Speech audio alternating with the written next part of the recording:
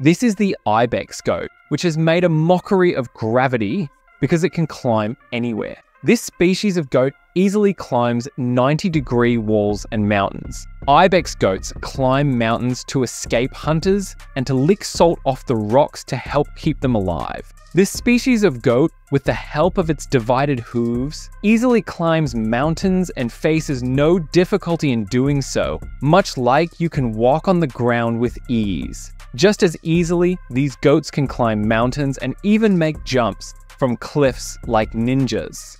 At such heights, these goats can evade other fierce animals, but they cannot escape from eagles. If you are interested in learning about such new facts, stay tuned with us.